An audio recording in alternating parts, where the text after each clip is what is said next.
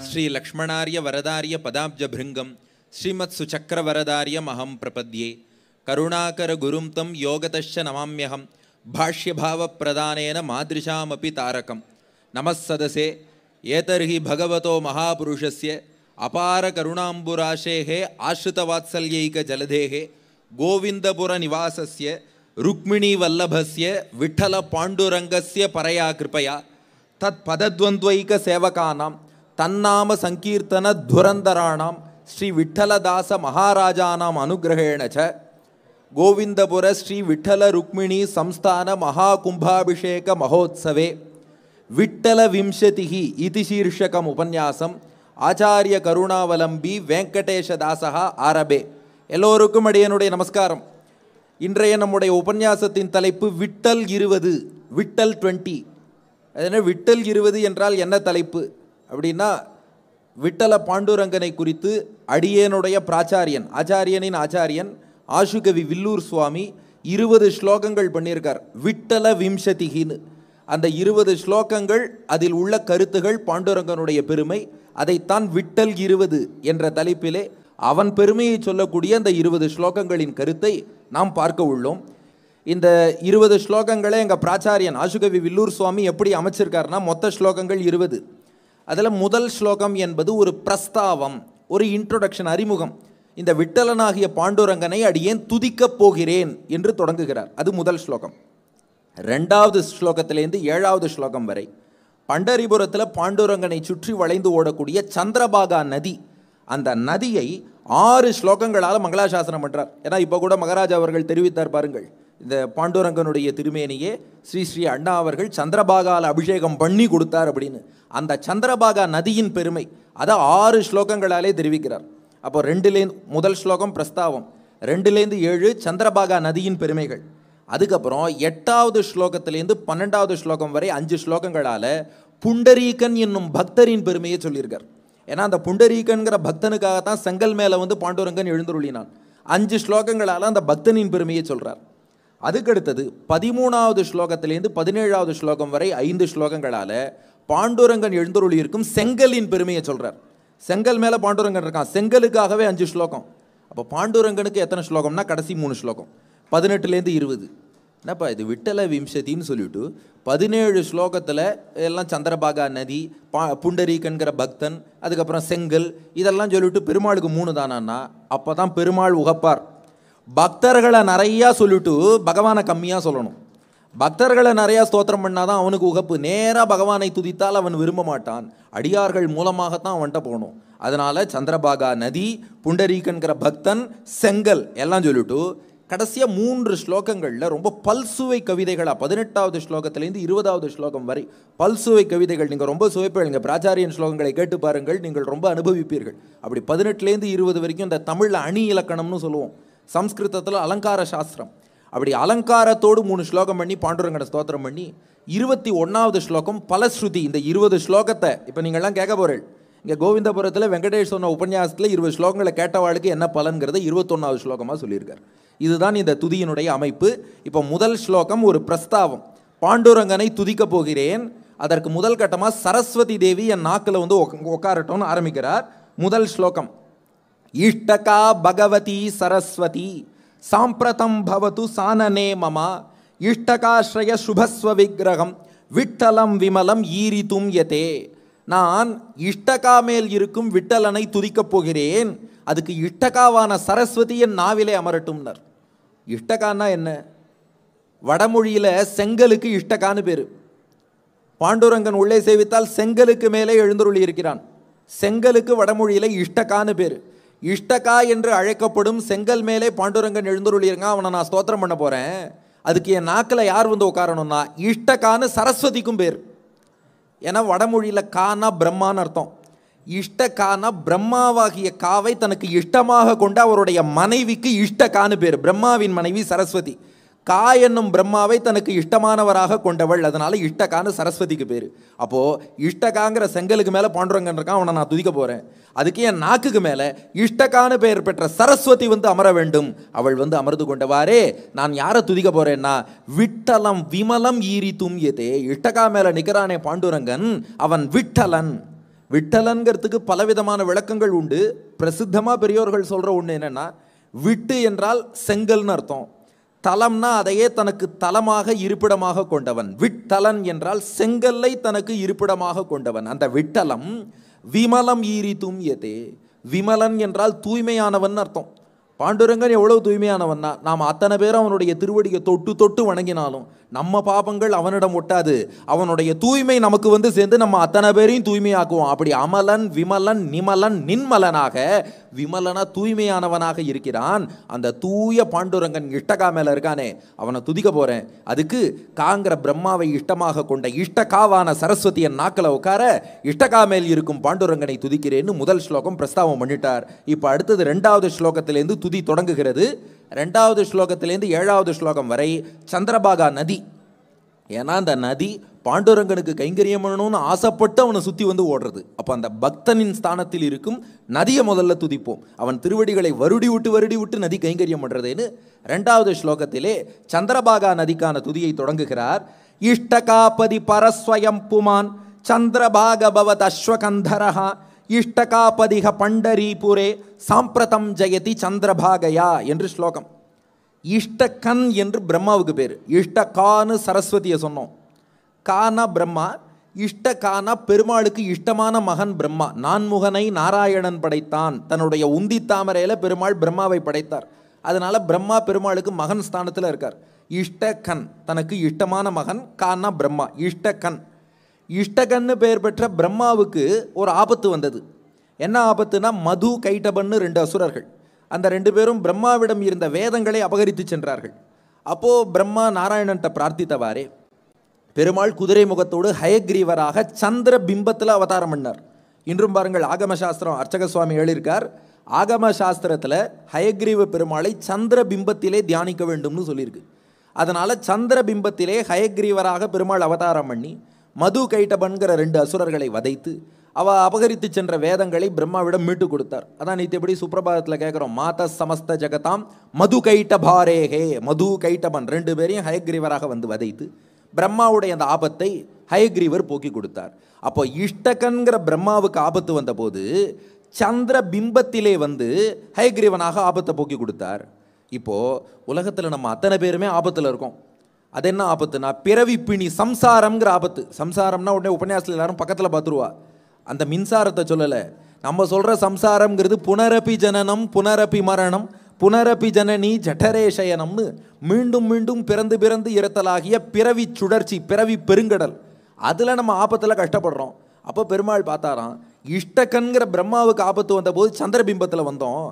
இங்கே எல்லாருக்குமே ஆபத்தாக இருக்குது அதனால் இஷ்டகாங்கிற செங்கலுக்கு மேலே சந்திர பாகா நதிக்கரையில் வந்து எழுந்தருள்வோம். அங்கே சந்திர பிம்பத்திலே இஷ்டகனுக்காக வந்தோம். இங்கே இஷ்டகாவுக்கு மேலே செங்கலுக்கு மேலே சந்திர பாகா நதிக்கரையிலே வந்து உலகத்தில் உள்ள அத்தனை பேருக்கும் நேரும் ஆபத்தாகிய பிறவி பிணியை போக்கி எல்லோருக்கும் ஞானத்தையும் பக்தியையும் கொடுத்து சரணாகதி அளவுக்கு பக்குவப்படுத்தி எல்லாருக்கும் மோட்சம் கொடுப்போங்கிறதுனால சந்திர பாகா நதிக்கரையிலே அந்த சந்திர பிம்பம் எப்படி வளைந்து இருக்குமோ அதே போல சந்திரபாகா நதிக்கரையில் ஹயக்ரீவர் எப்படி ஞானமூர்த்தியோ அதுபோல் ஞானம் அருளக்கூடிய இப்போ கொஞ்ச நேரம் முன்னாடி மகாராஜ் கூட சொன்னார் சைத்தன்யம் மிக்க பெருமாள். அப்படி ஞானமூர்த்தியாக ஞானத்தை தந்து நம்மை ரட்சிக்கக்கூடிய பெருமாளாக வந்து சந்திர பாகால இவர் எழுந்தருளி இருக்கிறார். அப்போ இஷ்டகன்கிற பிரம்மாவுக்கு ஆபத்துனா சந்திர பிம்பத்திலே வந்து காப்பாற்றினார். நமக்கெல்லாம் ஆபத்தா? இஷ்டகா மேல நின்றபடி சந்திர பாகா நதிக்கரையில் வந்து அத்தனை பேரையும் ரட்சிக்கிறான். இதைத்தான் பாண்டுரங்கா அஷ்டகத்தில் சங்கர பகவத் பாதாலும் ஒரு ஸ்லோகத்தில் தெரிவித்தார். என்னன்னா பாண்டுரங்கன் எப்படி எழுந்துருளி இருக்கிறான் என்றால் இப்படி ரெண்டு கையும் இப்படி இடுப்பில் வச்சுட்டு ஏன் இந்த மாதிரி இருக்கான்னா பிரமாணம் பவாப்தேரிதம் மாமகானாம் நிதம்ப கராபியாம் திருதோ ஏன தஸ்மாத்னு பாண்டுரங்காஷ்டகத்தில் சங்கர பகவத்பாதர் ஸ்லோகம். ஏன் இப்படி இடுப்பில் கையை வச்சுட்டுருக்கான்னா என் திருவடியை நாடி வந்துட்டியோ இல்லையோ என் நாமங்களை பாடிட்டியோ இல்லையோ பிறவி பெருங்கடலையே இடுப்பளவு நான் வற்றச் செய்கிறேன் என்று காட்டுவதற்காகத்தான் இடுப்பில் கை வச்சுருக்கான் அதனால் அவங்ககிட்ட வந்துட்டோன்னா சொல்கிறா பாருங்க தலைக்கு மேலே வெள்ளம் போனால் சாண் என்ன முழம் என்னன்னெலாம் கேட்பா. எதை பற்றியும் பயப்பட வேண்டாம். அவங்ககிட்ட வந்துட்டோன்னா எல்லா கடலையுமே இடுப்புக்கு கீழே வற்ற வைத்து விடுவான். அதனால தான் இடுப்புலேயே கை வச்சுட்டு எழுந்துருளி இருக்கான் அதனால் இஷ்டகா மேலே இருந்து சந்திரபாகா நதிக்கரையிலே ஞானத்தை கொடுத்து ரட்சிப்பதற்காக ஹயக்ரீவரின் மறுவடிவமாக அந்த சந்திர பிம்பம் தான் ஹயக்ரீவருடைய சந்திர பிம்பம் தான் சந்திரபாகா என்னும் நதியாக இருக்கிறதுன்னு ரெண்டாவது ஸ்லோகத்தில் அனுபவம். இப்போ அப்படியே மூணாவது ஸ்லோகம். இந்த சந்திரபாகா நதியையே மற்றொரு கோணத்தில் பார்க்குறார். என்னென்னா சந்திரனுடைய ஒளி தான் சந்திரபாகா நதியாக பூமிக்கு வந்துருத்துன்ட்டார். அது ஏன் பூமிக்கு சந்திரபாகா நதியா சந்திர ஒளி ஏன் வரணும்? மூன்றாவது ஸ்லோகத்தை பாருங்கள். ஸ்ரீ விட்டலம் நீல சரோஜ காந்திம் ஸ்ரீ சந்திரபாகாத் அவலோகயந்தி அத்தைவ நித்யம் ஸ்திதிம் ஆததானா ஸ்ரீசந்திர பாகேதி நதி பபுவா என்று ஸ்லோகம். பாண்டுரங்கன் எப்படி இருக்கிறான் என்றால் ஒரு நீல தாமரையை போல இருக்கான். நீல நிறத்திலே தாமரை இருந்தால் எப்படி இருக்குமோ அவன் திருமேனி அவயவங்கள் எல்லாம் அப்படி தான் இருக்குது திருமங்கையாழ்வார் பாசுரம் கைவண்ணம் தாமரை வாய்க்கமலம் போலும் கண்ணிணையும் அரவிந்தம் அடியும் மக்தே அவ்வண்ணத்து அவர் நிலைமை கண்டும் தோழி அவரை நாம் தேவரென்று அஞ்சினோமே. அவனுடைய ஓரோர் அவயவமும் தாமரை போல இருக்கிறது. திருக்கண்கள் தாமரை திருவாய் தாமரை திருமுகம் தாமரை திருக்கரங்கள் தாமரை திருவடிகள் தாமரை உந்திய பார்த்தா அதிலேருந்து ஒரு தாமரை. இப்படி திருமேனி முழுக்க தாமரை போலவே எழுந்தருளி இருக்கிறான் அதுவும் என்ன தாமரைனா நீல தாமரை. ஏன்னா நீலவண்ணன் பெருமாள். அதனால் நீல சரோஜ காந்திம் ஒரு நீலத்தாமரை ஒளிமிக்க நீலத்தாமரை போல இந்த பாண்டுரங்கன் எழுந்தருளி இருக்கான் வானத்திலேருந்து சந்திரன் இந்த பண்டரிபுரத்து பாண்டுரங்கனை பார்த்து தான் இந்த சந்திரனுக்கு என்ன ப்ராப்ளம்னா அது தாமரையை பார்த்ததே இல்லை. சந்திரன் தாமரையை பார்த்ததே கிடையாது. இது கவிஞர்கள் ரசமாக சொல்கிற விஷயம். இதை கவிநயத்தோடு பார்க்கணும். என்னென்னா மகாலட்சுமிக்கும் சந்திரனுக்கும் பொறாமையாம். நீ அழகா நான் அழகான்னு.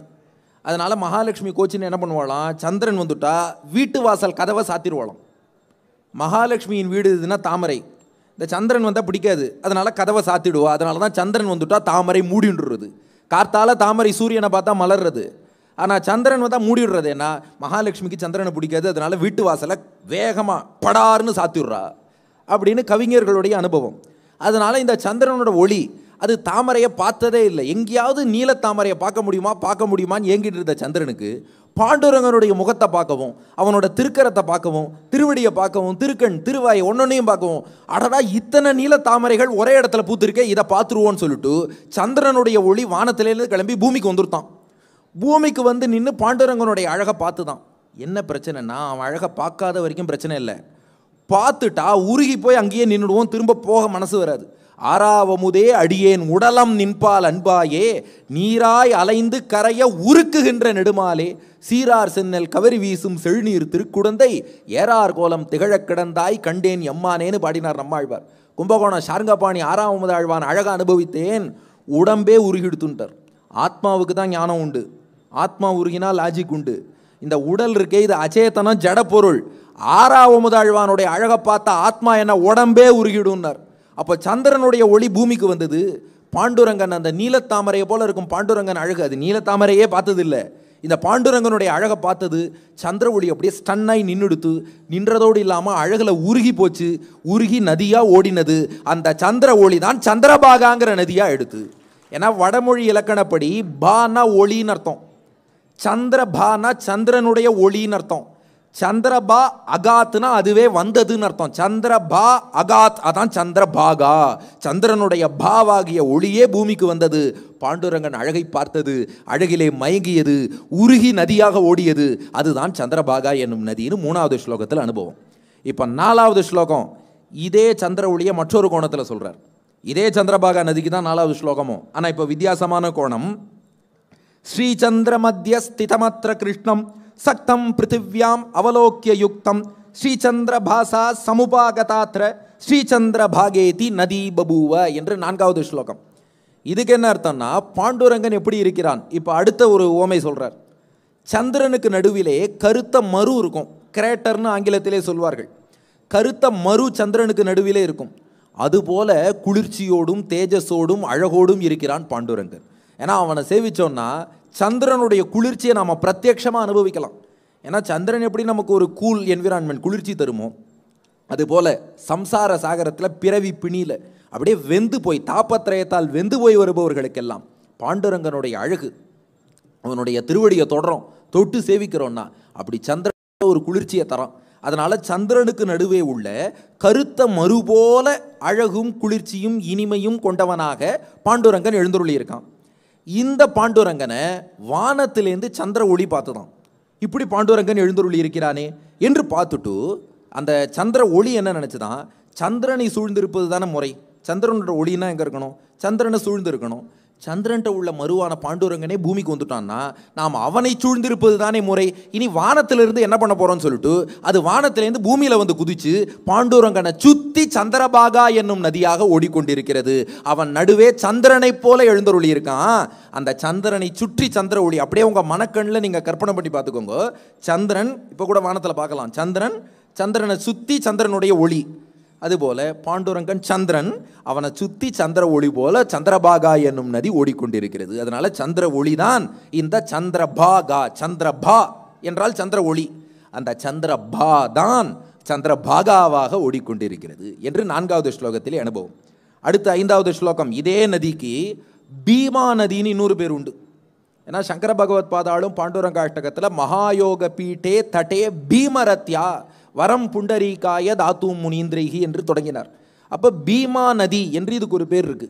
அந்த பேரை சொல்லி அந்த நதியை கொண்டாடுறார். அதுதான் ஐந்தாவது ஸ்லோகம்.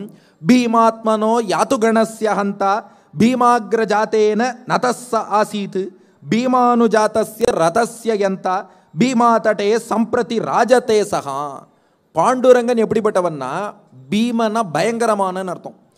பீமர்கள் பயங்கரமான அசுரர்களை எல்லாம் பீமர்களை எல்லாம் அழிக்கக்கூடியவன் பாண்டுரங்கன்.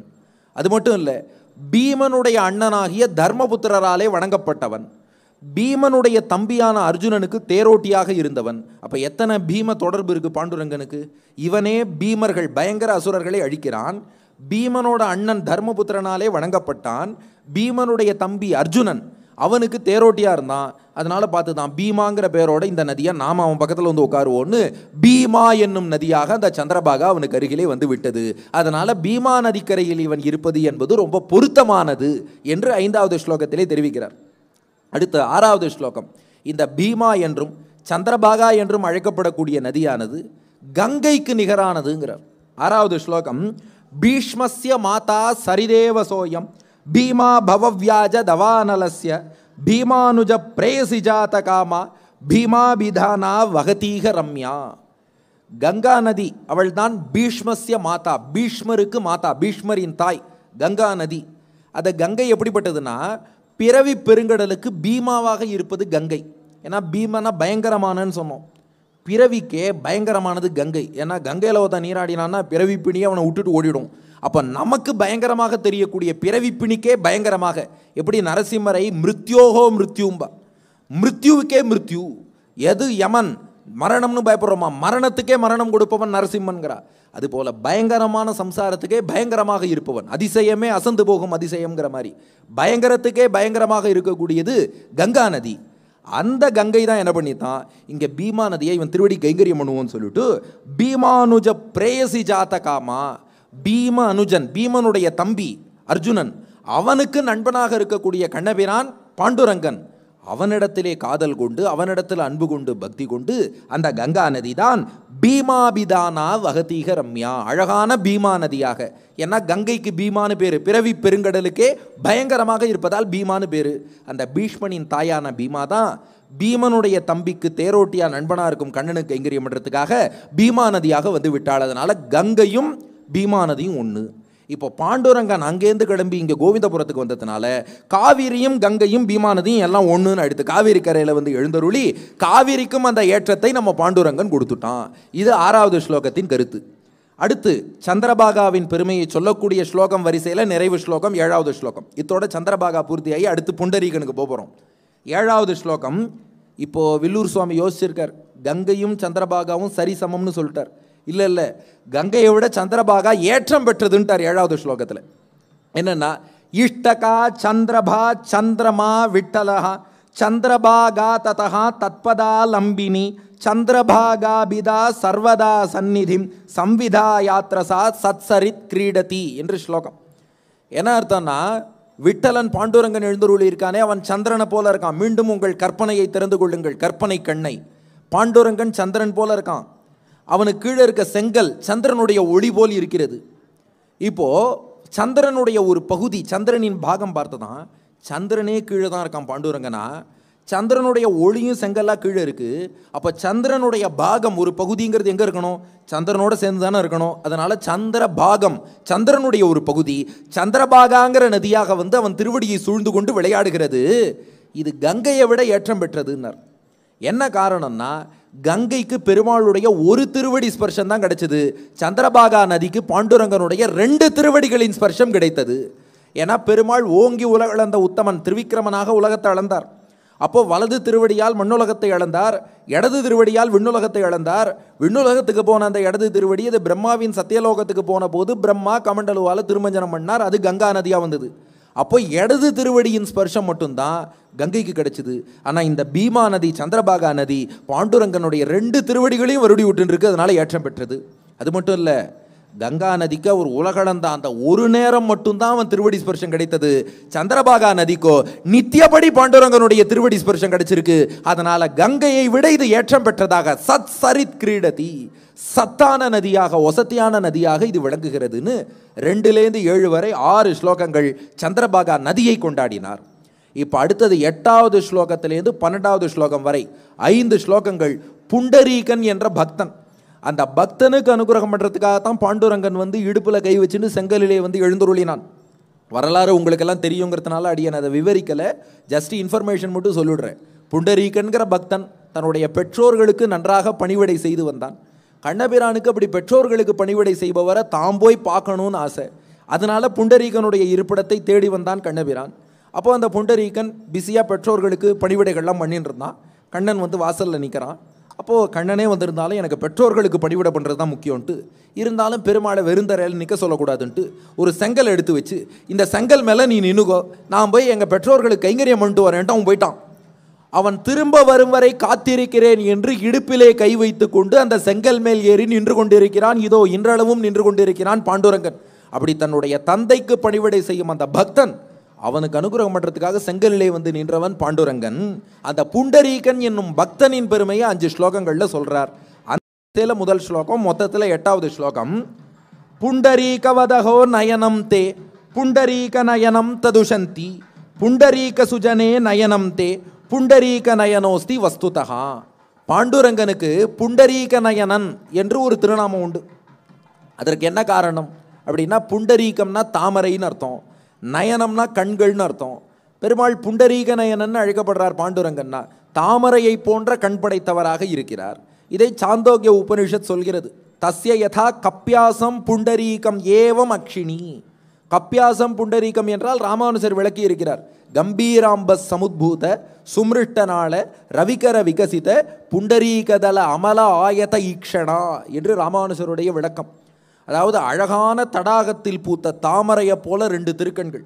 பாண்டுரங்கனோட திருமேனியை சேவிக்கிறோம். திருமேனியே ஒரு தடாகம். நாம் மூழ்கி அதில் முத்தெடுக்கலாம். அப்படிப்பட்ட தடாகம் குளம் போன்ற திருமேனி. அதில் பூத்த ரெண்டு தாமரை. அவனுடைய ரெண்டு திருக்கண்கள். மேலும் சும்ரிட்ட நாள. சும்ரிட்ட நாளன்னா அழகான தண்டோடு கூடிய ஃப்ரெஷ்ஷான வாடாத தாமரை. ஏன்னா அவன் கண்களுக்கு தாமரை ஓமையாக சொல்லிட்டா அது வாடி போயிடுமோன்னு கேட்பான் இது வாடாத தாமரையாக இருக்கிறது. ரவிகர விகசித்த அவன் கண்ணை மூடி கண்ணை திறந்தால் எவ்வளோ நளினமாக அழகாக இருக்கும்னா சூரியனுடைய ஒளிப்பட்டு ஒரு தாமரை மொட்டு மலர்ந்தால் எவ்வளோ அழகாக இருக்குமோ அதுபோல் பாண்டுரங்கன் கண்ணை திறப்பது அவ்வளோ அழகாக இருக்கும். அதனால் புண்டரீக நயனன்னு அழைக்கப்படுறான். தாமரையை போன்ற திருக்கண்களை கொண்டவன். அப்படின்னு எல்லாரும் சொல்கிறா இப்போ வில்லூர் சுவாமி ரெண்டாவது பாதையில் தான் ட்விஸ்ட் வச்சிருக்கார்.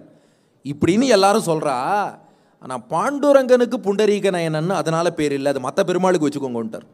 இவருக்கு ஏன் புண்டரீக நயனன்னு பேருன்னா தன் பக்தனான புண்டரீகன் மேலேயே தன்னுடைய நயனமாகிய கண்ணை வச்சுண்டு புண்டரீகனையே பார்த்துட்டு இருக்கான் அவன் பெற்றோர்களுக்கு எப்படி கைங்கரியம் பண்ணுறாங்கிறத அதையே நயனத்தால் பார்த்து ரசித்து கொண்டிருக்கிறான். புண்டரீகம் போன்ற நயனங்கிறதுனால புண்டரீக நயனன் இல்லை. புண்டரீகன் மேல் வைக்கப்பட்ட நயனத்தை உடையவன் அதனால புண்டரீக நயனன். அந்த புண்டரீகன்கிற பக்தன் மீது கண்ணை வைத்து விட்டான். அந்த கண்களால் அவனை நன்றாக கட்டாட்சிக்கிறான். அதனால தான் புண்டரீக நயனன்னு பாண்டுரங்கன் அழைக்கப்படுகிறான். நீங்க மற்ற பெருமாளுக்கு வேணா கம்பீராம்ப சமுத்பூத்தை அதெல்லாம் வச்சுக்கோங்க என்று எட்டாவது ஸ்லோகத்திலே தெரிவிக்கிறார். அடுத்து ஒன்பதாவது ஸ்லோகம் பாண்டுரங்கன் ஏன் இன்னும் செங்கல் மேலேயே நிற்கிறார்? புண்டரீகன் பணிவிடை பண்ணிட்டு அதுக்கப்புறம் வந்து பாண்டுரங்கனை கவனிச்சிருப்பான். இன்னும் ஏன் செங்கல் மேல் நிற்கிறார்னா அந்த புண்டரீகனுக்கு நல்லது பண்ணணுங்கிறதுக்காக இவர் செங்கல் மேலே தவம் புரிகிறார் என்கிறார் ஒன்பதாவது ஸ்லோகத்தில். ஏன்னா தவத்தில் நிறைய வகைகள் உண்டு. தண்ணீருக்குள்ளே இருந்து தவம் புரிபவர்கள் உண்டு. அதுபோல் நெருப்பிலே அமர்ந்து தவம் புரிபவர்கள் உண்டு. மலைக்கு மேலே தவம் புரிபவர்கள் உண்டு. எல்லா தவமும் நமக்காக பெருமாள் பண்ணுறார் ஆமாம் தண்ணீருக்கு நடுவிலே தவம் புரியணுங்கிறதுக்காக தான் திருவரங்கத்தில் உபய காவிரிக்கு மத்தியில் ரங்கநாதனா சயனிச்சுண்டு தண்ணீருக்கு மத்தியில் தவம் புரிகிறார். அப்பயும் நாம் திருந்த மாட்டேங்கிறோம். சரி மலை உச்சியில் போய் தவம் புரிவோம்னு சொல்லி திருவேங்கட மலைக்கு மேலே போய் நின்று அங்கே தவம் புரிந்து பார்த்தார். அப்பயும் திருந்தலை. நெருப்பில் இறங்கி தவம் புரிவது. அதுக்கு தான் காஞ்சிபுரத்தில் அத்திவரதரா நெருப்புலேயே தோன்றி நெருப்பில் தவம் புரிந்து பார்க்குறாரு. நாம எதுக்கும் திருந்துறது இல்லைங்கிறது வேறு விஷயம். அதுபோல் இந்த பண்டரி அந்த புண்டரீகன்கிற பக்தன் அவனுக்கு தவம் புரிவோங்கிறதுக்காக பண்டரிபுரத்து பாண்டுரங்கன் ஏன் நம்ம கோவிந்தபுரத்து பாண்டுரங்கன் செங்கல் மேலே தவம் புரிகிறான். அதுதான் ஒன்பதாவது ஸ்லோகம். தபசாம் பரமுத்தமம் தபஹா பிதுராராதனம் இத்தியவைமியகம். பிதுசுஷ்ரூஷு வரஸ்ய தர்ஷனே சபவான் கிஷ்டகயா தபஸ்யதி. உலகத்திலேயே பல தவங்கள் இருந்தாலும் மிகச்சிறந்த தபஸ் மிகச்சிறந்த தவம் இதுனா பிதுராராதனம். பெற்றோர்களுக்கு பணிவிடை செய்வதற்கே அது மிகச்சிறந்த தபஸ். அது நம்ம ஆச்சாரியர்கள் அத்தனை பேரும் சொன்ன விஷயம். பெற்றோர்களுக்கு பணிவிடை செய்வது தான் தவங்கள்லேயே மிகச்சிறந்த தவம். அந்த தவத்தை பாண்டுரங்கன் சொல்கிறான் நான் என் பக்தன் புண்டரீகன் மிகச்சிறந்த தவம் பண்ணுறான் அவனுக்காக நான் இந்த தவத்தையாவது பண்ணக்கூடாதான்னு சொல்லி இஷ்டகாங்கிற செங்கலுக்கு மேலே எழுந்தருளி இருந்து பாண்டுரங்கன் அவன் நன்மைக்காக இவன் தவம் புரிந்து கொண்டிருக்கிறான். அதனால தான் செங்கல் மேலே திகழ்கிறான் என்று ஒன்பதாவது ஸ்லோகத்திலே தெரிவிக்கிறார். அடுத்து பத்தாவது ஸ்லோகம். இதில் அந்த செங்கல் என்பது புண்டரீகனுடைய கரஸ்பர்ஷத்தாலே பெருமை பெற்றதுங்கிறார். அந்த செங்கலுக்கு ரெண்டு பெருமை பாண்டுரங்கன் திருவடி வச்சான் அது ஒரு பெருமை. அதை விட என்ன பெருமைனா புண்டரீகன்கிற அந்த பக்தன் கையால் எடுத்து வச்சான் அதுதான் செங்கலுக்கு பெருமை என்கிறது பத்தாவது ஸ்லோகம். உத்கதா வினிகிதா பதாம்புஜே தாவகி ஜெயதி தேவகி சுதா இஷ்டகானி தததி நதாத்மனாம் புண்டரீக கர சங்க கோமலா. இந்த இஷ்டகாங்கிற செங்கலுக்கு என்ன சிறப்பு? ஏற்கனவே சொன்னோம் இஷ்டகானா செங்கல்னு அர்த்தம். அதுக்கு என்ன சிறப்புன்னா பாண்டுரங்கன் தன்னுடைய திருவடிகளை அதன் மீது பதித்தான். அது சிறப்பு. பெருமாளுடைய திருவடி சம்பந்தம் இருக்குது சிறப்பு தான் சந்தேகமே இல்லை. அதை விட என்ன சிறப்புன்னா புண்டரீக கர சங்க கோமலா புண்டரீகன்கிற பக்தனுடைய கையோடு ஒரு சங்கம் தொடர்பு ஏற்பட்டது. அந்த பக்தனுடைய தொடர்பு பகவானுடைய தொடர்பு ரெண்டும் ஏற்பட்டதுனால தான் அந்த இஷ்டகாங்கிற செங்கல் நம்முடைய இஷ்டங்கள் எல்லாத்தையும் கொடுக்கறது. நம்ம பாண்டுரங்கிட்ட பிரார்த்திச்சுன்னு அந்த செங்கலை தொட்டு வணங்கிட்டு வந்துட்டோம்னா போதும். எல்லா இஷ்டங்களையும் இஷ்டகா கொடுக்கறதே என்ன காரணம்னா பகவானுடைய தொடர்பும் இருக்குது பக்தனுடைய தொடர்பும் இருக்குது அன்றைய புண்டரீகன் மட்டும் இல்லை இன்று வரை பாண்டுரங்கனை சேவிக்கக்கூடிய ஒவ்வொரு அடியாரும் கவனிச்சு பாருங்க அந்த செங்கலை தொட்டு தொட்டு தொட்டு செவிச்சுட்டு வரா. அப்போ எத்தனை பாகவதர்களுடைய ஸ்பர்ஷம் அந்த செங்கலுக்கு கிடைச்சிருக்கும்? அப்போ பகவானுடைய திருவடி ஸ்பர்ஷம் பாகவதர்களின் திருக்கரத்தின் ஸ்பர்ஷம். அன்று புண்டரீகன் தொடங்கி வச்சான் செங்கலை எடுத்து கொடுத்து. புண்டரீகன் தொடங்கி பாகவதர்களுடைய ஸ்பர்ஷம் செங்கலுக்கு கிடைச்சதால தான் இஷ்டகங்கள் நம்முடைய விருப்பங்கள் இஷ்டங்களையெல்லாம் கொடுக்கக்கூடியதாக அந்த இஷ்டகாங்கிற செங்கல் விளங்குகிறது என்று பத்தாவது ஸ்லோகத்திலே தெரிவிக்கிறார். அடுத்து பதினொன்றாவது ஸ்லோகம். அந்த செங்கல் மீது வசிப்பதைத்தான் பாண்டுரங்கன் விரும்புகிறான்கிறார். ஏன்னா புண்டரீகன் ஆசையோடு கொடுத்துருக்கான் இல்லையா? அதனால் அதன் மீது வசிப்பதைத்தான் விரும்புகிறான். அதுக்கு உதாரணங்கள் சொல்றார். நாம்புஜேன முனி நாதமானசே நாபினந்த பவனேன மாதரி திஷ்டதீவ எதிக இஷ்டகாத்தலே புண்டரீக கலிதே கிருதாதரகா பகவான் பொதுவாக திருவடி எங்கே வைப்பார்னா ஆசன பத்மம்னு தாமரை மேலே வைத்திருப்பார். நீங்கள் பல திருக்கோவில்களில் உற்சவமூர்த்தி சேவிச்சா கூட ஆசன பத்மத்திலே அழுத்தின திருவடிகள் என்று சொல்வார்கள். தாமரைக்கு மேலே திருவடி வச்சிருப்பார். ஏன் தாமரைக்கு மேலே திருவடி வச்சிருக்காருனா இதுக்கு நம்பிள்ளை ஈட்டில் ஒரு காரணம் சொல்லியிருக்கார். தன் தாமரை சுமக்கும் பாத பெருமானைன்னு நம்மாழ்வார் பாசுறோம். அதுக்கு நம்பிள்ளை ஈட்டில் விளக்கும்போது சுவையாக ஒரு காரணம் சொல்கிறார் பெருமாள் திருவடிக்கும் தாமரைக்கும் போட்டி நடந்து தான் யார் ரொம்ப மென்மையானவர்கள்னு. போட்டியில் பந்தயம் என்னன்னா தோத்தவர் ஜெயிச்சவரை தலையால் சுமக்கணும். போட்டி தாமரை மென்மையானதா பெருமாள் திருவடி மென்மையானதா? யார் ஜெயிச்சிருப்பா? பெருமாள் திருவடி தான் ஜெயிச்சது. தாமரையோட இதான் மென்மையானது. தாமரை தோத்து போச்சு. அதனால தோத்து போன தாமரை ஜெயிச்ச பெருமாள் திருவடியை தலைக்கு மேலே சுமந்துன்னு அதான் தன் தாமரை சுமக்கும் பாத பெருமானைன்னு தாமரைக்கு மேலே திருவடி வச்சிருக்கான். ஆனால் புண்டரீகன் இந்த செங்கல் எடுத்து கொடுத்தான் பாருங்க. அதுக்கப்புறம் அந்த தாமரையில் பெருமாளுக்கு விருப்பமே இல்லையா? இதில் கால் வைக்க வேண்டான்ட்டாராம். அடுத்து இன்னொரு இடத்துல ரொம்ப ஆசையோடு இருப்பார். முனிநாத மானசே முனிவர்களுடைய மனசில் திருவடி பதிச்சு முனிவர்களுடைய இதயங்களிலே எழுந்தருளி இருப்பார் அப்படி தான் இருந்தார். இந்த புண்டரீகன் மகானுபாவன் செங்கலை வச்சது தான் தாமதம். அங்கெல்லாம் இருக்க பிடிக்கலன்ட்டாரோம். அதுக்கப்புறம் நான் நந்த பவனே நந்தகோபனுடைய இல்லத்தில் திருவடி பதிச்சு விளையாடுறது ரொம்ப பிடிக்கும்.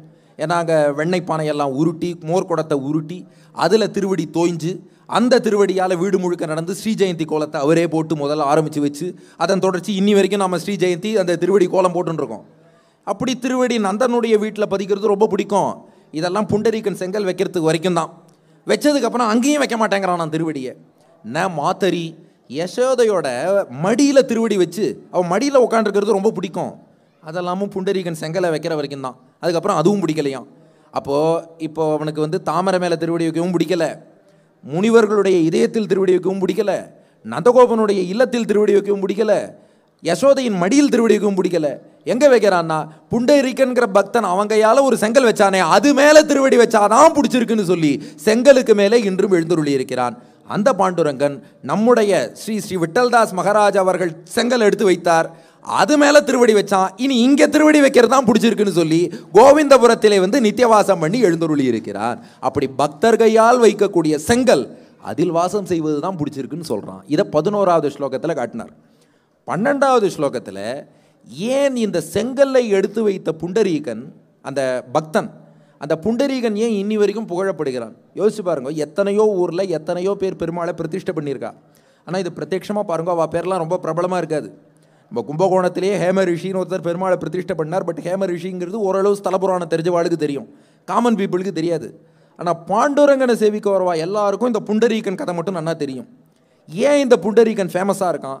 அதற்கான காரணத்தை பன்னெண்டாவது ஸ்லோகத்தில் சொல்கிறார் என்னன்னா இஷ்டகா ருக்மிணி பண்டரி நாயக ஸ்ரீபதாம்போஜ சந்தாரிணி சாகதா. இஷ்டகா ரூபிணி ராஜதே நிஷிதம் யாஸ்தமா ஸ்தாபய ஸ்ரீயுதோ பாசதே. அந்த புண்டரீகன் செங்கலை வச்சான் செங்கலை வச்சாங்கிறோமே அந்த செங்கல் யாருன்னா ருக்மிணி தான் அந்த செங்கல்ன்றார். கண்ணன் ருக்மிணியோடு தான் புண்டரீகனை தேடி வந்தான். அந்த ருக்மிணியே செங்கலாகவும் வடிவெடுத்துட்டாலும் ஏன்னா மகாலட்சுமிக்கு எப்போது என்ன ஆசைன்னா பெருமாள் திருவடிகளை வருடி விட்டுண்டே இருக்கணும்னு ஆசை. மலர்மகள் கைவருட மலர்போதில் சிவந்தன என்றார் தேசிகன். அதுபோல் கும்பகோணத்திலேயும் பெருமாள் எப்படி இருக்கார்? ஒருமதி முகத்து மங்கையர் இருவரும் மலரென அங்கையில் முப்பொழுதும் வருட அரிதுயில் அமர்தனை ஸ்ரீதேவி பூதேவி ரெண்டு பக்கமும் இருந்துட்டு கும்பகோணத்தில் பள்ளி கொண்ட ஆறாவது திருவடிகளை வருடி விட்டுட்டே இருக்கா. அப்போ மகாலட்சுமி எப்போதும் பெருமாள் திருவடியை வருடணும்னே நினப்பா. அப்போ இவன் பாண்டுரங்கனா கோவிலுக்குள்ள போகிறாங்கிறது அவளுக்கு தெரியாதா?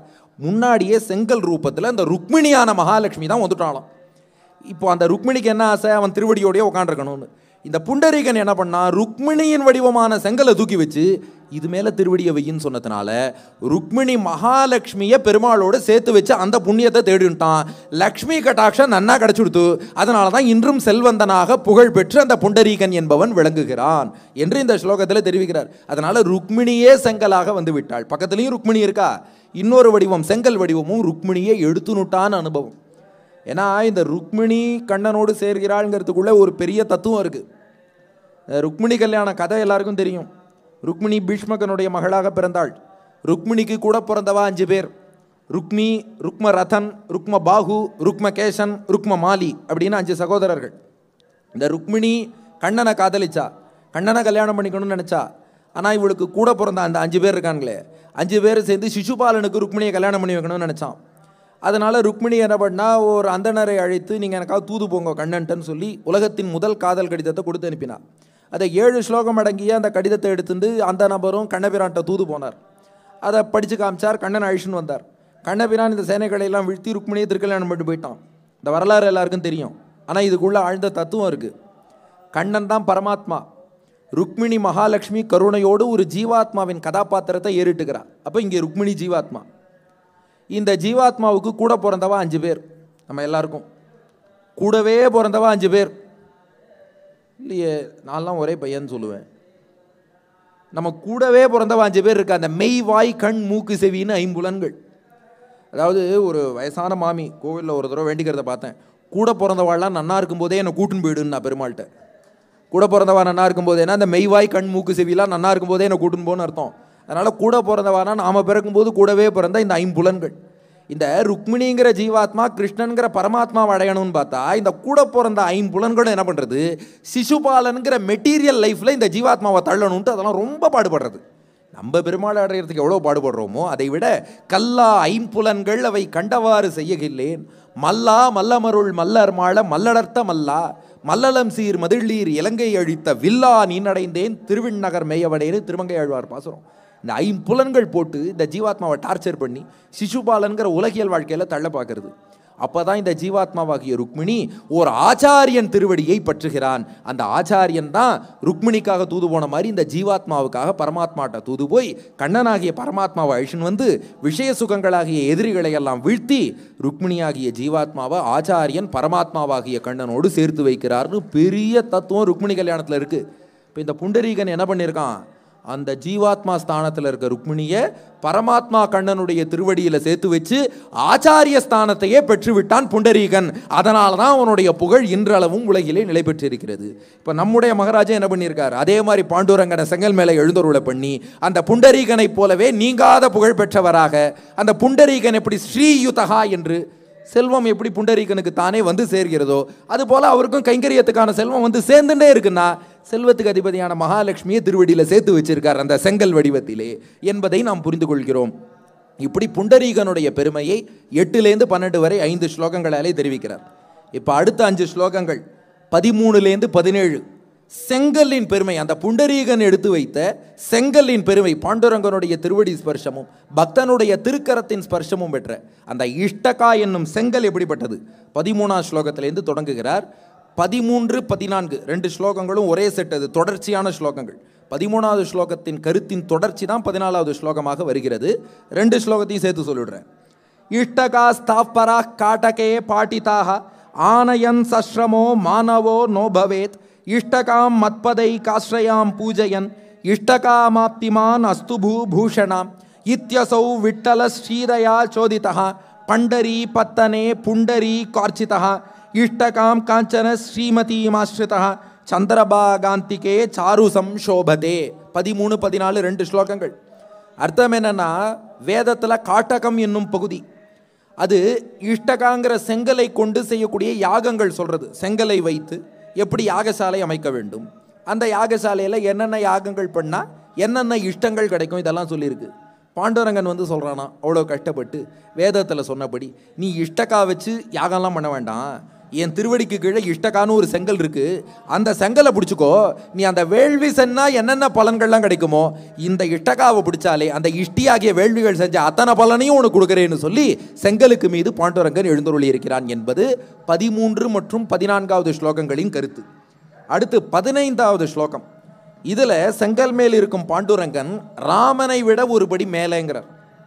ராமனை இஷ்டகானனன்னு குறிப்பிடுறார். பாண்டுரங்கனை இஷ்டகா பதன்னு குறிப்பிடுறார். இதில் உள்ள ஒரு சுவையும் நீங்கள் ரசிக்கலாம். சம்ஸ்கிருதத்தில் ஆனனம்னா முகம்னு அர்த்தம். இஷ்டகானனன்னா செங்கல் முகம்னு அர்த்தம். பதம்னா திருவடி இஷ்டகா பதம்னா செங்கல் திருவடின்னு அர்த்தம். இஷ்டகானனன்கிற ராமனை ராமனுடைய முகம் செங்கலானா அது அப்படி இல்லை. போயட்டிக் அந்த மீட்டருக்காக இஷ்டகானனன்னு ராமனை சொல்லிட்டார். அது ஆனனம்ங்கிற வார்த்தை வரத்துக்கு. அதை எப்படி பிரிச்சுக்கணும்னா இஷ்ட காணனன் காணனம்னா காடுன்னு அர்த்தம். ராமன் என்ன பண்ணான்னா இஷ்டப்பட்டு கானகத்துக்கு போனான் தந்தை சொல்லுக்காக. பாண்டுரங்கன் என்ன பண்ணான்னா பக்தன் சொல்லுக்காக இஷ்டப்பட்டு செங்கல் மேலே நிற்கிறான் அடுத்த பதினைந்தாவது ஸ்லோகத்தை பாருங்கள். இஷ்டகானனம் உஷந்தி ராகவம் துவாமமி புதவராக பிதுர்கிரா. இஷ்டகாபதமிகாத யாதவம் பூஜகசிய மகத பிதுர்கிரம்னர். ராமன் என்ன பண்ணா தந்தை சொல்விக்க மந்திரம் இல்லைன்னு சொல்லி கானகத்திலே இஷ்டப்பட்டு காட்டுக்கு போனான் ராமபிரான். பாண்டுரங்கன் தந்தை கூட சொல்லலை. தந்தை சொல் கேட்கக்கூடிய ஒரு மகன் சொன்ன வாக்கை கேட்டு இஷ்டகாவிலேயே திருவடி வச்சு எழுந்தருளியிருக்கான். ராமன் கூட சொந்த தந்தையின் பேச்சை தான் கேட்டான். பாண்டுரங்கனோ தந்தை சொல் கேட்டு நடக்கக்கூடிய மகனின் பேச்சை கேட்டு இவன் நின்றுருக்கான் இருக்கான். ராமன் கூட காட்டுக்கு போயிட்டு பதினாலு வருஷத்தில் வந்துட்டான்.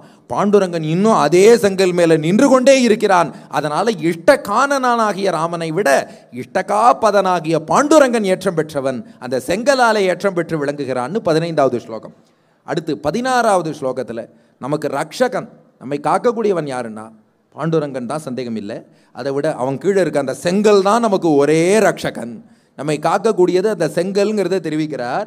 இஷ்டகாபத ஜனானுஷங்கதா பாபமாகதம் அபோகித்தும் பரம் இஷ்டகாபதம் இகானதஸ்ததா விட்டலம் பஜ விமோக்ஷியசே ததா என்று ஸ்லோகம் நாமெல்லாம் எப்படி வாழ்கிறோம்னா இஷ்டப்படி வாழறோம் சாஸ்திரத்தில் பகவான் நிறையா விஷயம் சொல்லியிருக்கான் இப்படித்தான் வாழணும் அப்படின்னு அவர் நிறையா சொல்லியிருக்கார் சார் அவர் ஒரு மூலையில் சொல்லிட்டு போட்டோம் சார் எனக்கு நிறைய இஷ்டம் இருக்குது நான் அதுபடி வாழ்கிறேன்னு சொல்லிட்டு நாம் இஷ்டப்படி வாழ்ந்துன்னு இருக்கோம் இஷ்டப்படி ஒரு வாழ்க்கையை வாழ்ந்துட்டு பல பாபங்களை சேமிச்சிட்டோம் அதனால். இப்போ இஷ்டப்படி வாழ்ந்து பாபம்லாம் சேமிச்சிருக்கோமே இந்த பாபங்கள் நீங்கள் என்ன வழின்னா அவன் திருவடியை ஒரு இஷ்டகாங்கிற செங்கல் மேலே வச்சுருக்கானே இஷ்டப்படி வாழ்ந்தவர்கள் பாபம் தீங்கணும்னா அந்த இஷ்டகாவை போய் பிடிச்சிக்கணும் அந்த திருவடிக்கு கீழே இருக்க செங்கலை போய் பிடிச்சிக்கணும். பிடிச்சுட்டோம்னா நம்முடைய அத்தனை பாபங்களையும் அந்த பாண்டுரங்கன் போக்கி விடுவான். ஏன்னா பகவானுடைய இயல்பு இது. பகவான் எப்போதுமே தூய்மையானவன் என்று வேதங்கள்லாம் அடிக்கடி சொல்கிறது தூய்மையானவன்னா என்ன தாத்பரியம்னா கொஞ்சம் இதை யோசிச்சு பாருங்க. ஒரு வீட்டில் என்ன பண்ணாலும் ஒரு அம்மா இதெல்லாம் அந்த கால இன்னைக்கு மடி விழுப்பு அதெல்லாம் யாருக்கும் தெரியாது. அந்த காலத்தில் மடி துணின்னு ஒரு அம்மா மடித்து வச்சுருந்தா. அந்த மடி துணி அதில் ஒரு பையன் என்ன பண்ணிட்டான் தெரியாமல் ஒரு விழுப்பு துணியை கொண்டு வந்து போட்டானோ. அம்மா சொன்னாலாம் பாடுறா ஒரு விழுப்பு துணியை கொண்டு வந்து இத்தனை மடி துணியில் போட்ட எல்லாமே விழுப்பாக எடுத்துருந்தான் பையன் சொன்னானா நோ ப்ராப்ளம் அங்கே நிறைய விழுப்பு துணி இருக்குது அதில் ஒரு மடி துணியை போட்டுடுறேன் எல்லாம் மடி ஆகிடும் இப்படி ஆகுமா? ஆகாது. ஏன்னா விழுப்பில் மடிப்பட்டால் மடிக்கு தான் அழுக்கு வருமே ஒழிய இந்த தூய்மை அங்கே போகாது. ஆனால் பாண்டுரங்கனுடைய திருவடியை நாம் எல்லாரும் போய் தொடறோம் இல்லையா? அவன் ரொம்ப தூய்மையானவனாக இருக்கான். அமலன் விமலன் நிமலன் நின்மலனா எந்த தோஷங்களாலும் தீண்டப்படாமல் அகிலகேய பிரத்யநீக்கன் கல்யாணைக தான். தோஷங்களுக்கெல்லாம் எதிர்த்தட்டாக இருக்கான் மங்களங்களுக்கெல்லாம் இருப்பிடமாக இருக்கான்.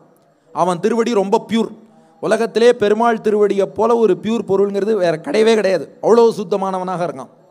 நம்ம கையால் போய் தொடுறோம். உலகத்திலே நம்மளை விட பாவம் பண்ணவா நம்மளை விட அழுக்கு உள்ளவான்னு யாரும் கிடையாது. அது வெளி அழுக்காகட்டும் மனசுக்குள்ளே இருக்க அழுக்காகட்டும் இத்தனையும் இருக்குது நம்ம போய் அவன் திருவடியை தொட்டோம்னா நம்மக்கிட்ட இருக்க தோஷம் அவன் மீது படாது. அவனுடைய தூய்மை நம்மக்கிட்ட வந்து ஒட்டின்றது இந்த அதிசயம் யார்கிட்ட உண்டுனா அவன் ஒத்தாண்ட தான் உண்டு. அதனால் இஷ்டப்படி மனம் போனபடி வாழ்ந்து பாப்பங்களை தேடிக்கொண்டவர்கள்லாம் இஷ்டகா மேலே நின்று இருக்கானே அவன் திருவடிக்கு கீழே உள்ள செங்கலை பிடிச்சிக்கோங்க செங்கல் மேலே உள்ள திருவடியை பிடிச்சிக்கோங்க. பிடிச்சுனுட்டா அத்தனை பாப்பங்களையும் போக்கி அவனைப் போலவே நம்மை தூய்மையாக்கி விடுவான். ஏன்னா நாம் என்ன பண்ணுவோன்னா யாரோ ஒருத்தர் வந்தால் நம்ம போலவே அவளை அழுக்காக்குவோம். ஆனால் பகவான் நாம் அவன்கிட்ட போனோம்னா அவனைப் போலவே நம்மை தூய்மையாக ஆக்கி விடுவான். அவனுடைய செங்கல் தான் நமக்கு ஒரே புகழ்னு காமிச்சிட்டார். அடுத்து பதினேழாவது ஸ்லோகம். இந்த பாண்டுரங்கன் அவன் கீழே உள்ள செங்கல் அதுதான் நம்ம கஷ்டகாலத்தை போக்குங்கிறது தெரிவிக்கிறார். பதினேழாவது ஸ்லோகம். இஷ்டகா ஜகதி சர்வதோ ஜனாக கஷ்டகால வசகா ததத்யகம் இஷ்டகா பதம் அமும் வினம்யதே ஸ்பஷ்டகா புவி பவந்து சோபனாக.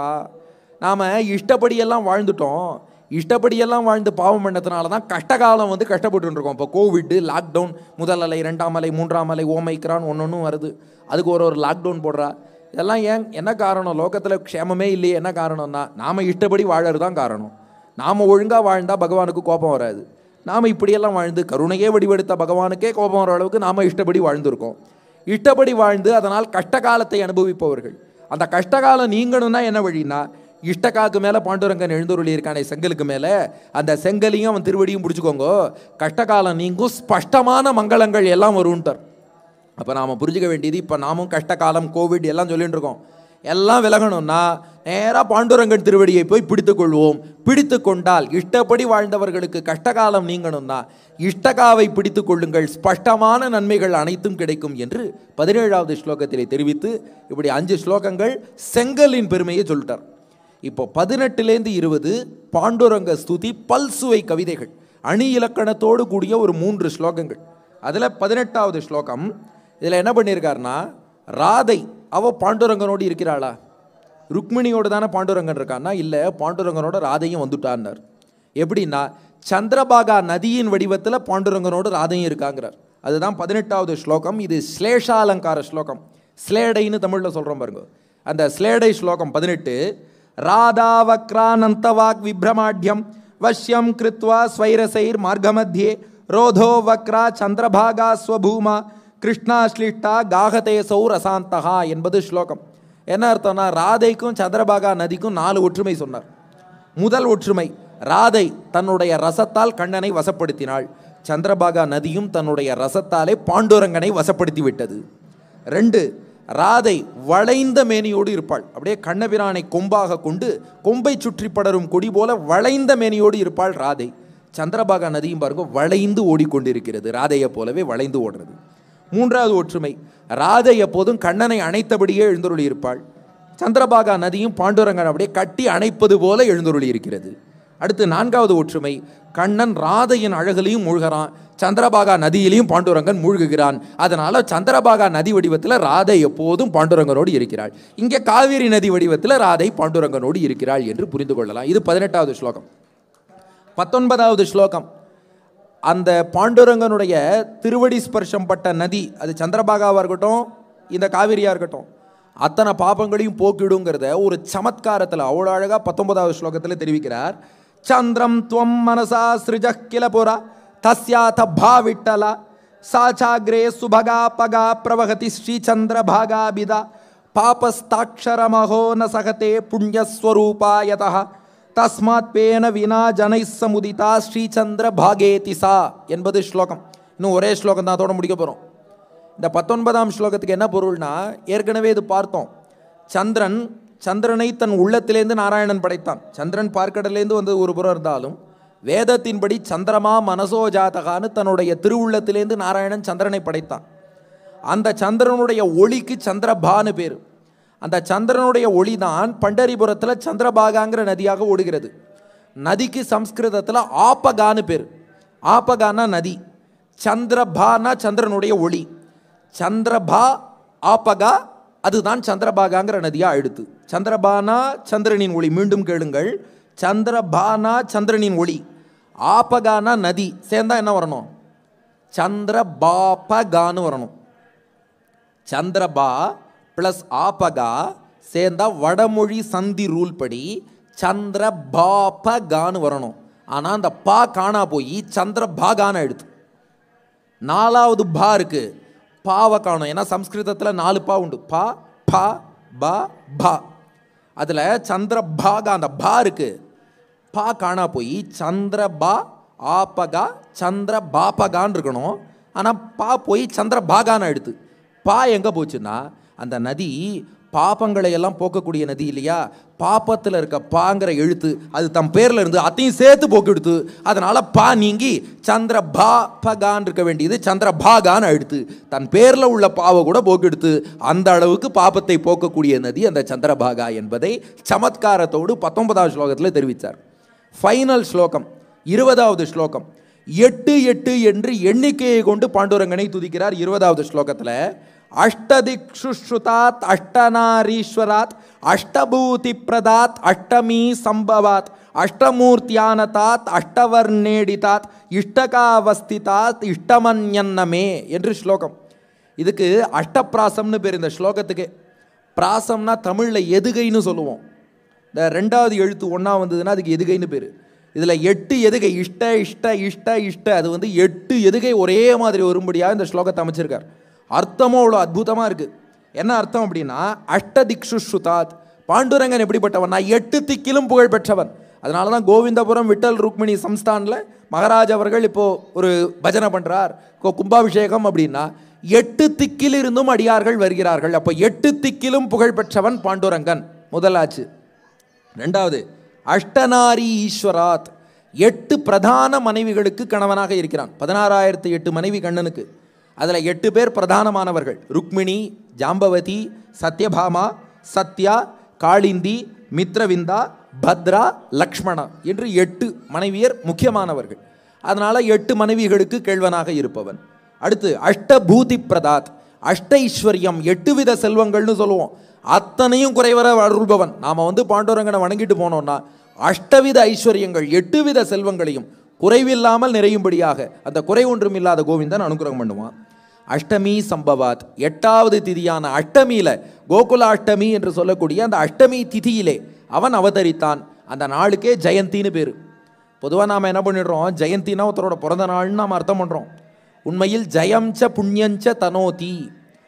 கிருஷ்ணபக்ஷ அஷ்டமியோடு கூடிய ரோகிணி நட்சத்திரம் வரக்கூடிய நாளுக்கு ஜெயந்தின்னு பேர். அந்த நாளில் கண்ணன் அவதாரம் பண்ணான். தேய்பிரை அஷ்டமி ரோகிணி இரண்டும் சேரக்கூடிய நாளுக்கு ஜெயந்தின்னு பேர். அந்த நாளில் கண்ணன் அவதரிச்சதுனால சீர்மை பெற்று ஸ்ரீ ஜெயந்தின்னு ஆச்சு.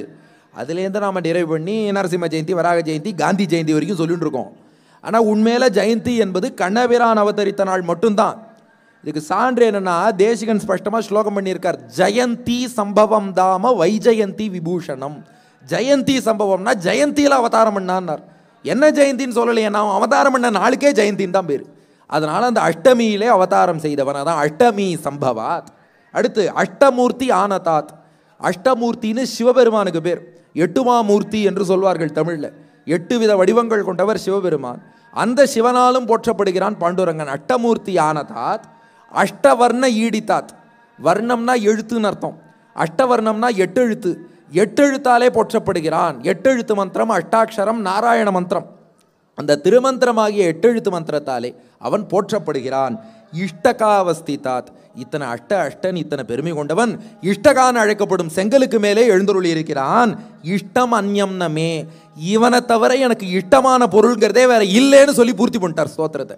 இந்த பாண்டுரங்கன் ருக்மிணியோடு இவ்வளோ அழகாக எழுந்தருளி இருக்கும்போது இவனை விட இஷ்டமான பொருள்ங்கிறது வேற இருக்க முடியுமா? அதனால் இவனை விட இஷ்டமானது என்பது வேறு எதுவுமே அடியனுக்கு கிடையாதுன்னு சொல்லி இருபதாவது ஸ்லோகத்தை நிறைவு செய்கிறார். அப்போ முதல் ஸ்லோகம் பிரஸ்தாவம் ரெண்டுலேருந்து ஏழு வரை சந்திரபாகா நதியின் துதி எட்டுலேருந்து பன்னெண்டு வரை புண்டரீகன் பெருமைகள் பதிமூணுலேருந்து பதினேழு வரை செங்கலின் பெருமைகள் பதினெட்டுலேருந்து இருபது பல்சுவை துதிகளால் பாண்டுரங்கனை துதித்தார். இப்போ இருபத்தி ஒன்றாவது பலஸ்ருதி இந்த இருபது ஸ்லோகங்களை ஒரு மணி நேரத்துக்குள்ள கோவிந்தபுரத்தில் கும்பாபிஷேக வைபவத்தில் வெங்கடேஷ் சொன்னான். இதை கேட்டவர்களுக்கு என்ன பலன்? அதான் இருபத்தி ஒன்றாவது ஸ்லோகம். இது ஷார்தூல விக்ரீடித்தம் மீட்டரில் அமைச்சிருக்கார். பண்டர் பூரிதி நாம தேய மகிதே திவ்யஸ்தலே கிரீடதா வைதர்பீ சகிதஸ்ய யாதவமணேः சௌமியேஷ்டகாவர்த்தினः கந்தர்பஸ்ய பிது சதோயமுதிதா ஸ்ரீ ஸ்ரீநிதேகே வாங்நிதேகே வைதர்பீ சுபரீதிமான் விஜயதே சர்வேஷ்ட காமப்பிரதகா இந்த ஸ்லோகத்தின் பொருள் பாருங்கள் பண்டர்பூர் என்று அழைக்கப்படக்கூடிய ஊரிலே பாண்டுரங்கன் எழுந்தருளி இருக்கான் அங்கே எப்படி இருக்கான்? கிரீடத்தகா கிரீடை விளையாட்டுகள் செய்து கொண்டு. ஏன்னா பாண்டுரங்கன்னாலே லீலை தான் மகாபக்த விஜயம்னு புத்தகத்தை எடுத்தா அதுவும் நீங்கள் உபன்யாசம் டெய்லி கேட்டுருக்கீர்கள் பாருங்க. லீலை தான் பாண்டுரங்கன் என்றாலே லீலை. அப்படி விளையாடி கொண்டு எழுந்தருளி இருக்கிறான் மேலும் வைதர்பி சகிதஸ்ய வைதர்பின்னு ருக்மிணிக்கு பேர். விதர்ப தேசத்து இளவரசியாக அவதரித்தாள். விதர்ப தேச இளவரசிங்கிறதுனால வைதர்பின்னு ருக்மிணிக்கு பேர். இதை ஞாபகம் வச்சுக்கோங்க. ஞாபகம் வச்சுட்டா ஸ்லோகத்தோட லாஸ்ட் வரையும் நீங்கள் ரொம்ப ரசிப்பீள் வைதர்பின்னு ருக்மிணிக்கு பேர். அந்த வைதர்பியான ருக்மிணியோடு எழுந்தருளி இருக்கிறான். யாதவ மணேகே யாதவ குலத்தின் மணியாக யாதவ குல ரத்னமாக அவன் திகழ்கிறான். சௌமிய இஷ்டகாவர்த்தினகா. அழகான செங்கலுக்கு மேலே திகழ்கிறான். கந்தர்பஸ்ய பிதுகு. கந்தர்பன்னு மன்மதனுக்கு பேர். மன்மதனின் தந்தையாக அவன் விளங்குகிறான். ஏன்னா மன்மதன் தான் பிரத்யும்னன்னு கிருஷ்ணனுடைய மகனாக வந்து பிறந்தான். அவனுக்கு தந்தை கண்ணன். அதாவது சாக்ஷாத் மன்மத மன்மதகா என்னும்படி அவ்வளோ அழகாக இருக்கான் பாண்டுரங்கன். அப்படிங்கிறது தாத்பரியம். இந்த பாண்டுரங்கனை குறித்து இந்த துதியை இயற்றியவர் யாருன்னா ஸ்ரீ ஸ்ரீநிதேகே வாங் நிதேகே எங்கள் ஆச்சாரியனுடைய ஆச்சாரியன் பிராச்சாரியன் ஆசுகவி வில்லூர் சுவாமி. அவர் ஸ்ரீநிதி என்ற திருநாமத்தோடு கவிதை எழுதுவார். ஸ்ரீனிவாச ராகவாச்சாரியார்னு திருநாமம் ஸ்ரீநிதி என்ற திருநாமத்தோடு கவிதை எழுதுவார். ஸ்ரீ ஸ்ரீநிதேகே வாங் நிதேகே வாக்குக்கு நிதியாக இருக்கும் ஸ்ரீநிதியாலே இந்த கவிதை இயற்றப்பட்டது. இதை சொல்பவர்களுக்கு என்ன பலன் அப்படின்னா வைதர்பி சுபரீதிமான் இந்த கவிதை வைதர்பி வைதர்பின்னு ருக்மிணிக்கு பேருன்னு சொன்னோம் இல்லையா? இந்த கவிதை எப்படிப்பட்டதுன்னா சம்ஸ்கிருதத்தில் வைதர்பின்னு ஒரு டைலக்ட் இருக்கு. அந்த வைதர்பிங்கிற சம்ஸ்கிருத டைலக்டில் வைதர்பியின் கேள்வனான பாண்டுரங்கன் குறித்து இயற்றப்பட்டது இந்த துதி. இந்த வைதர்பியின் கேள்வனுக்கு வைதர்பி டைலக்ட் ஆஃப் சான்ஸ்கிரிட்ல எழுதப்பட்ட இந்த துதியானது விஜயத்தே இன்றும் விளங்குகிறது. பிரசன்டென்ஸில் போட்டார். இது எப்போதும் விளங்கிக் கொண்டே இருக்கிறது. சர்வேஷ்ட காமப்பிரதகா அந்த பாண்டுரங்கன் எப்படி எல்லா விருப்பங்களையும் நிறைவேற்றுவானோ அதுபோல கேட்ட உங்களுடைய அத்தனை பிரார்த்தனைகளையும் அத்தனை இஷ்டங்களையும் விருப்பங்களையும் இந்த இருபது ஸ்லோகங்கள் நிறைவேற்ற வல்லவை என்று சொல்லி இந்த விட்டல விம்சதி என்ற இருபது ஸ்லோகத்தை எங்கள் பிராச்சாரியன் நிறைவு செய்கிறார். ஏ நன்றி வணக்கம்.